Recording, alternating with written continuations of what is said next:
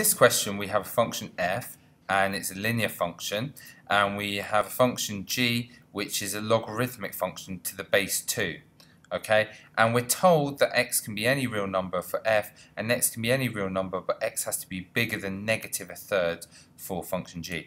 Do notice base 2 there. Okay what we're asked to do is we're asked to work out g of f of 1 so firstly let's work out f of 1 f of 1 is when you substitute 1 in here so 6 multiplied by 1 take away 1 is equal to 5 so therefore g of f of 1 is going to be g of 5, which is log base 2. 3 multiplied by 5 is 15. 15 add 1 is 16. Now you should know log base 2 of 16. This is 2 to what power gives you 16? And the answer is 4 because 2 to the power of 4 is equal to 16. So you know log base 2 of 16 is equal to 4.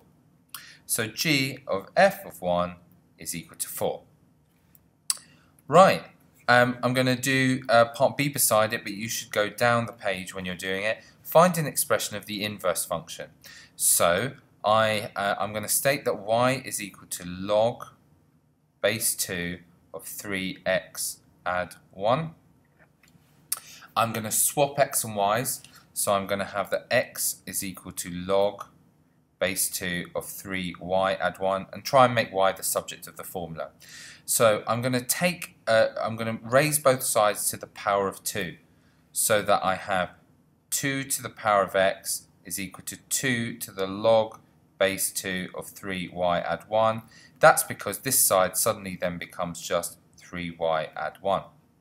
So 2 to the power of x is that. Making y the subject of the formula, I can do it in one move. I take away 1 and divide by 3. So 2 to the power of x, take away 1, divide by 3. As follows. So therefore state your inverse function.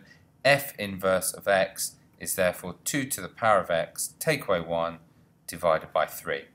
So looking back up here, um, we did this for, uh, for your function g. x had to be uh, bigger than or equal to negative a third. And when that was true uh, we had that log can take any number. Um, so here our uh, x can take any number here. So we just state that x can be any real number